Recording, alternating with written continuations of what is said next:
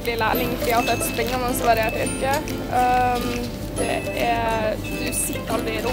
Uh, så du slipper de åtte timers lange dagene der du sitter på en stol. Uh, og så får du fagbrev og kan gå rett ut i jobb etterpå.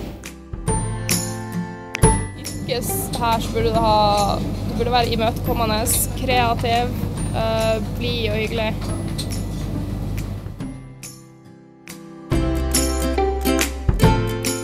Vanlig hverdag til oss det er at uh, vi legger opp disker, produserer, og biffer, pakker kjøtt og, og kundebehandling.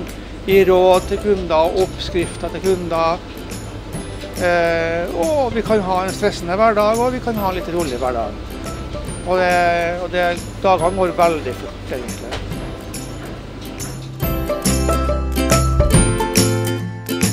En slakter en butikkslakter er at butikkslakteren slakter ikke hele dyr. Vi får ferdigstykker som dette.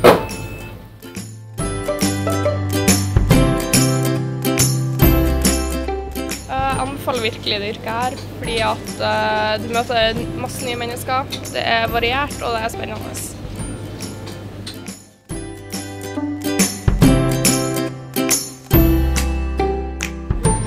Egenskaper du må ha for å være lærling i dette faget, her, det er at du må være eh, kreativ. Du må være eh, åpen og ha lyst til å behandle kunder og, og holde på med mat. Eh, ja, det er vel stort sett det som du må ha som egenskap. At du være, å være nøye da, og, og ha hygiene i orden og,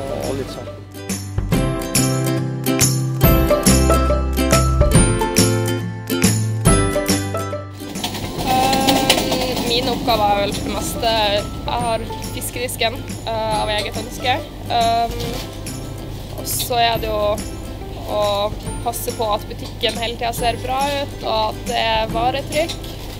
Og som lærling i uh, opplæringskontoret så har jeg ei bok på nettet som er masse oppgaver i, som jeg skal gjøre før læretida er gått ut.